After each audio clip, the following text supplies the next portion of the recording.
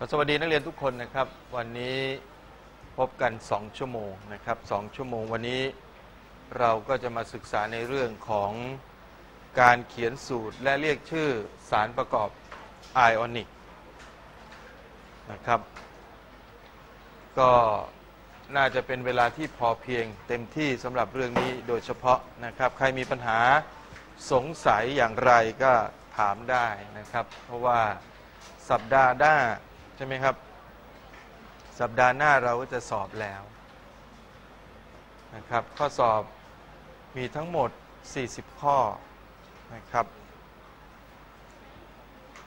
ที่เป็นปรนัยนะครับ เป็นอัตนัยอีกหนึ่งข้อนะครับ เวลาที่ใช้ในการสอบ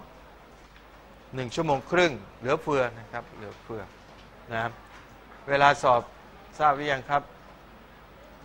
ก็สอบช่วงเวลานี้แหละกำลังง่วงๆนี่แหละ ช่วงบ่ายของวันที่ 21 นะครับ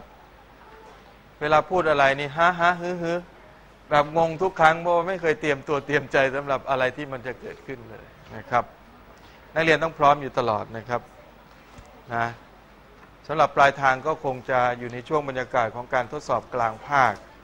ต้นทางก็เช่นเดียวกันนะครับวันนี้ก่อนที่จะเรียนเนี่ยนะครับ วันนี้ไม่มีอะไรให้ดูนะครับ ก็เลยมีมีสื่ออยู่ 2 ตัว อยากจะ preview ให้ดูนะครับ นักเรียนสามารถไปดาวน์โหลดในห้องเรียน e-learning ได้นะครับ สื่อ 2 ตัวนี้เป็น สื่อเป็น flash file นะครับเป็น simulate เป็น interactive เป็นสถานการณ์จำลองให้นักเรียนลองลองเล่นตามที่เขาบอกนะครับตัวตัวแรกนะครับเป็นเป็น chemical bonding ก็คือจะบอกพันธะเคมีทั้งหมดทั้งทั้งสามพันธะสามชนิดนะครับนะครับ นี่คือลักษณะของสื่อ นะครับ ก็มี covalent bonding นะครับ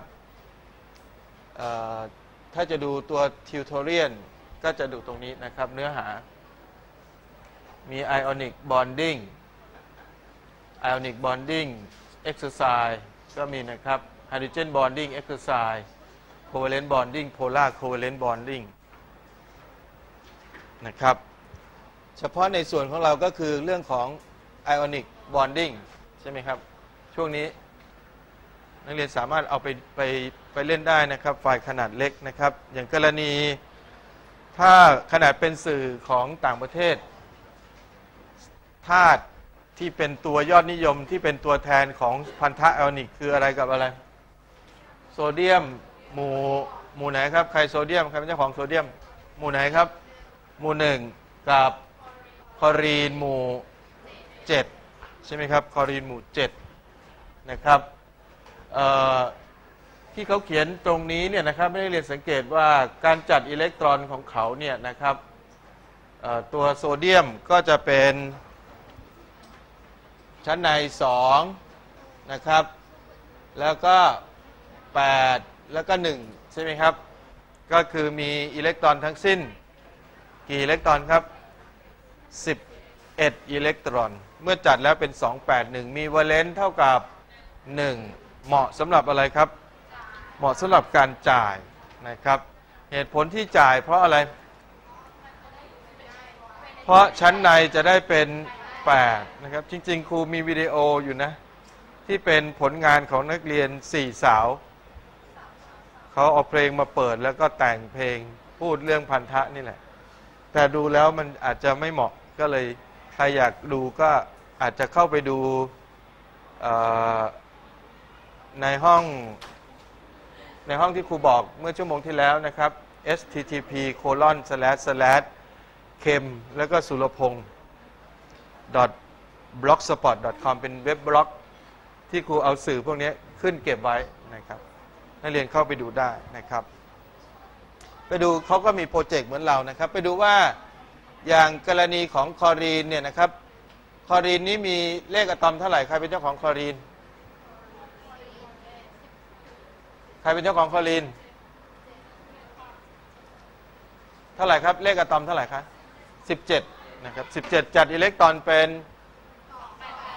2 8 7ใช่ไหมครับ นี่2แล้วก็วงใน8แล้วก็7แล้วเขามีวงว่างๆอยู่ขาดอยู่1ใช่ไหมครับ ขาดอยู่1เพราะฉะนั้นเนี่ยทั้งสองธาตุเนี่ยนะครับพฤติกรรมเนี่ยโดยธรรมชาติเขาอยู่เองไม่ได้ ไม่เสถียรนะครับ หรือถ้าอยู่ก็จะอยู่ในรูปของไอออน เป็นอนุมูล อันหนึงเป็นอนุมูลบวก อันหนึงเป็นอนุมูลลบ เหมือนเหมือนน้ำทะเลเนี่ยเป็นที่อยู่ของ Na บวกกับ Cl ลบเยอะมากลอยอยู่ในน้ำ ถ้าไปเจอคู่กรณีก็จะจับกันบ้าง แต่จับแล้วหลุดจับแล้วหลุดนะครับ เนื่องจากว่ามันถ้ามีตัวทำละลายเยอะเนี่ยเขาจะอยู่ในรูปของไอออนดีกว่า แต่ถ้าเขาตกผลึกถึงจะเป็นก้อนนะครับดูพฤติกรรมนะครับที่เขาอธิบายเมื่อมันมาอยู่ใกล้กันเนี่ยอิเล็กตรอนของโซเดียมก็จะจ่ายไปให้อิเล็กตรอนของคลอรีนนะครับ เพราะฉะนั้นวงในของโซเดียมก็กลายเป็น 8 วงนอก เอ้วงวงนอกสุดของโซเดียมใช่ไหมจากเดิมมันเป็นวงถัดจากรอบนอก มันก็จะเป็น 8 วงนอกสุดของคลอรีนก็เป็น 8 นะครับ จากนั้นเกิดอะไรขึ้นนะครับ จากนั้นเนี่ยอะตอมเมื่อกลายเป็นแล้วก็ติดกันกลายเป็นผลึก แล้วก็เป็นผลึกของเกลือ แค่นี้นะครับไม่มีอะไรซับซ้อนที่ซับซ้อนก็คือเรื่องของการ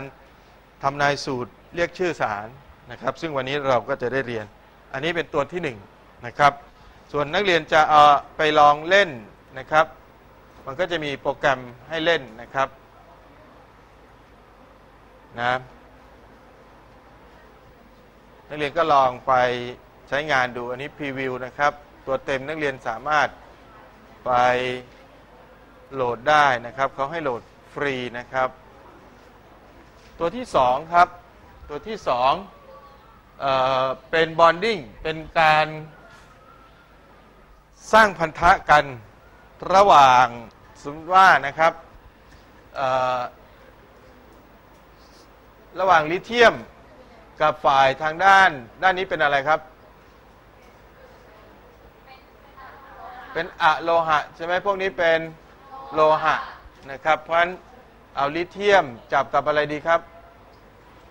ฟลูออรีนง่าย ๆ ก่อนนะครับเนี่ยนะครับลิเทียมจับกับฟลูออรีนปึ้ง ก็ได้อะไรครับ อัตราส่วนเป็น 1 ต่อ 1 โดยพฤติกรรมของฟูรีนนะครับนักเรียนครับ โดยพฤติกรรมของฟูรีนเนี่ยถ้าอยู่ในธรรมชาติเขาจะอยู่ในรูปของไดอะตอมคือเป็น F ติดกับ F นะครับ แล้วก็ เวลาผู้มาจ่ายต้องมาสองคนนะครับ อย่างอย่างลิเทียมก็เป็น LiF พอมาจับกันปุ๊บก็ประจุหักล้างกันก็กลายเป็นโมเลกุลนะครับกลายเป็นสารประกอบนะครับโพแทสเซียมจับกับออกซิเจนสูตรอะไรครับตัวนี้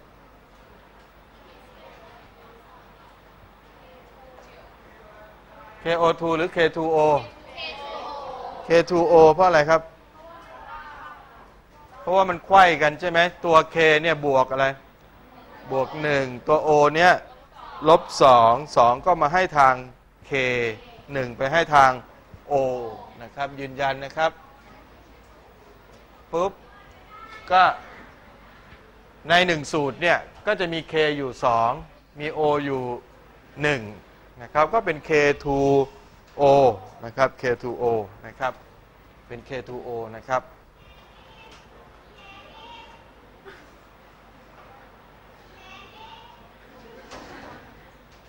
นะ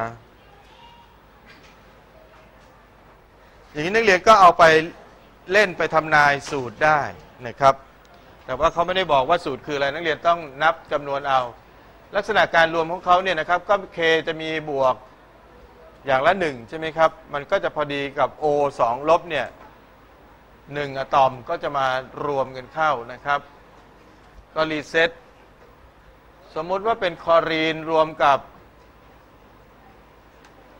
โซเดียมก็คือโซเดียมคลอไรด์ใช่ไหมครับ ถ้าคลอรีนรวมกับฟอสฟอรัสอะมันจะเป็นรูปทรงแบบนี้ อันนี้คือเป็นโมเลกุลนะครับ เมื่อกี้เป็นอะโลหะจับกับอะโลหะ ก็จะเป็นพันธะอีกพวกหนึ่ง แล้วก็จะมีรูปทรงโมเลกุลสวยงามนะครับ อย่างที่เราเคยเห็นนะครับ แต่ถ้าเป็น พันธะไอออนิกเนี่ยมันไม่เป็นโมเลกุลมันจะเป็นอะไรครับ เป็นผะผะผะผลึกนะครับ เก่งมาก มันจะเป็นผลึกบวกลบสลับกันไปเรื่อยๆ แต่นี่มีขอบเขตแน่นอนนะครับ P1 Cl 3นะครับเขาบอกสามารถ cross up ด้วยได้ด้วยนะครับ อย่างนี้นะครับ P1 แล้วก็มี Cl อยู่ 3 นะ เพราะอะไร Cl มันลบ 1 ใช่ไหม P มันลบ3ความเดิมนะ แต่ถ้าเจอกันเนี่ยประจุลบจะเป็นของ Cl P จะต้องกลายเป็นบวกทันทีนะครับนะอันนี้ก็เป็นสื่อที่น่าสนใจนักเรียนสามารถไปดาวน์โหลดมาดูได้ เก็บเป็นส่วนตัวได้นะครับเขาเว็บไซต์เขาเขาแจกฟรีนะครับ โอเคนะครับ ทีนี้มาทบทวน สิ่งที่ได้เรียนไปแล้วในชั่วโมงที่แล้วนะครับ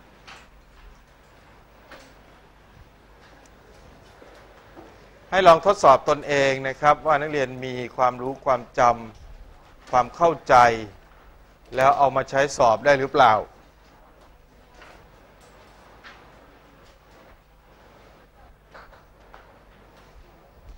ไอออนลบที่เป็นอนุมูลเดียวไอออนบวกนี่ไม่ห่วงนะ หมู่หนึ่ง บวกหนึ่งหมู่สองบวกสอง